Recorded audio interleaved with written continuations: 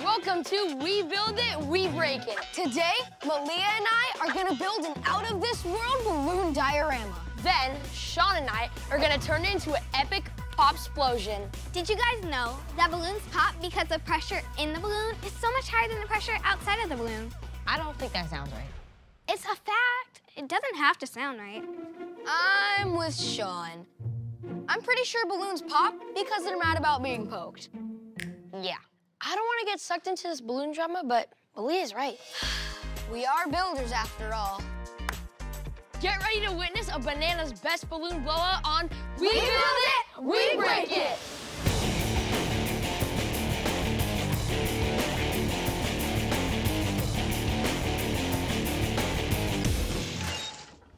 I was thinking we could use the balloons to build a diorama of a house. I'm not sure a house is crazy enough for our balloon build. But what if we put a trampoline in the backyard? That's pretty crazy. Let's keep brainstorming. what about if we made a... A pencil? Yeah, what's more exciting than a freshly sharpened point? Oh, what if we made the St. Louis Arch? You mean the world's tallest arch? Yeah, and balloons are super light, so we can make the arch even taller than we are. Like eight feet tall? Yeah, this is perfect. I'm doing my state report on Missouri. And what better way to learn about something than to build it out of balloons? I'm gonna try that for my next project too. Let's get building. So we know they're using balloons, but what's the best way to take down a balloon? Oh, wait. We could grow out our fingernails super long and then run up the balloons and pop them with that. Yeah, but while we're growing them, we'd have to walk around with weird, super long fingernails. Good. And that might look a little creepy. But I do like the popping idea. Yeah, we should definitely stick to the popping. Oh, wait, I was just reading this book about the Middle Ages, and they were like the original breakers. They used catapults to launch giant metal balls of destruction. My dad uses this super long, pokey wire to keep the dogs from crawling under the fence. Wait! We could add that on our balls so they could do the most popping damage possible. See? Yes, a homemade catapult with massive pointy wire balls. Now that's something the medieval guys and your dad would be proud of. What can I say? Building with balloons can be tough, So you have to make sure that they don't pop or float away. which is why we have balloon construction expert Lisa here to help us out. Using a lot of balloons and a little bit of math, we're gonna nail this gateway arch. Come on, let's go get our supplies. All right, we got all of our materials. Now, how are we gonna give our gateway arch its iconic archy shape? It's gonna be 10 feet on either side. So this will be the bottom, and then why don't you guys go ahead and draw out half of it on either side. Cool.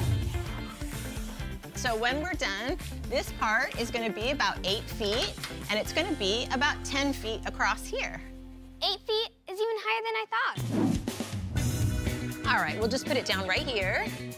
Perfect. This is gonna be the base of it. So this is the frame inside, and we'll just connect it together like this, and then we'll start loading balloons on it after we blow them up. What is this machine? Does it make balloons? Almost. It helps us blow them up so you don't have to do it by mouth. Whoa. That's awesome. So let me show you how it works. What it does is it blows up balloons two at a time, and it allows you to blow up the balloons at exactly the same size. Wow. Yeah. Lisa told us that we're going to need eight balloons per foot. And our arch is gonna be 20 feet long, which means we're gonna need 160 balloons? I bet it would take us two years to blow these up by hand. Okay, so this is how it works. Take them by the nozzles and put them over, and then there's a button right here. Hold your balloons so they don't fly off. There's your two balloons. Now, if you think about an arch, if you've ever seen one, they actually have four balloons per row. So we're gonna take these two and we're gonna twist it around and tie a knot. That's called a duplet, two, but we actually need four. So we're gonna make another one. Same thing, put it on, push the button. Tie it again. Now watch this. We're gonna turn two into four. Take these two together, twist them. One, two, three, and now we have four. Are we gonna start at one end and work our way to the other end, We right? absolutely are. So you guys ready to give it a try? Yeah, let's do it. Pinch it so the air doesn't come out.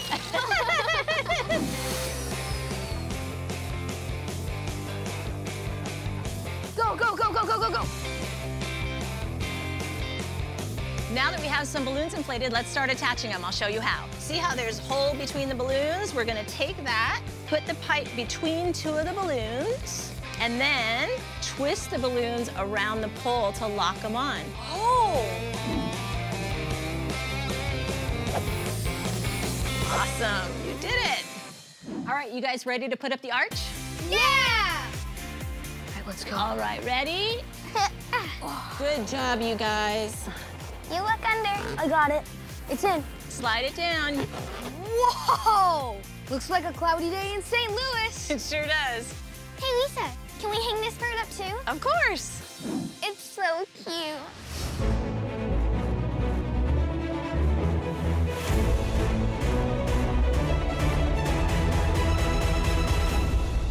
I wonder what Shaun and Kaden have in store for our arch.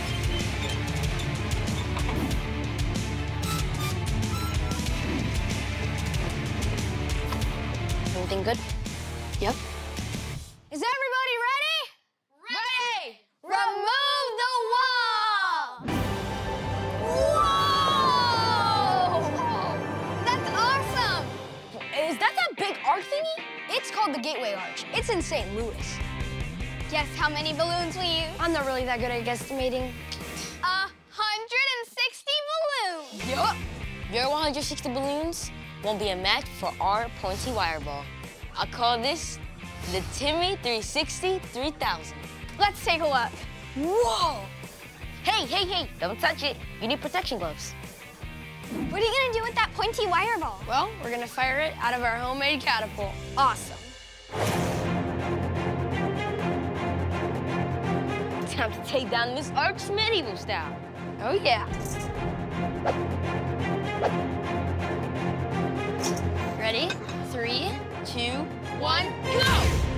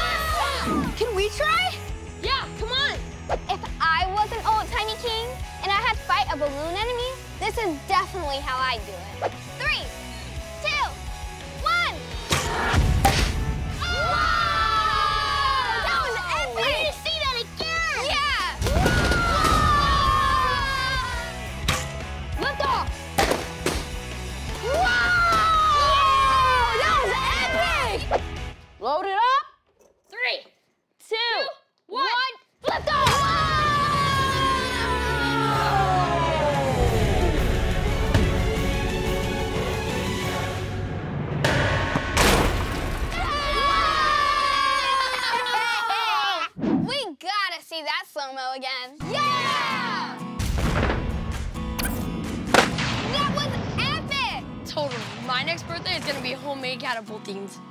We just took a trip to Missouri with our one-of-a-kind 20-foot gateway arch. Wait, did we take a picture of the arch? No, why? I was gonna use it as extra credit for my state report. Why can't you just tell the teacher about the arch?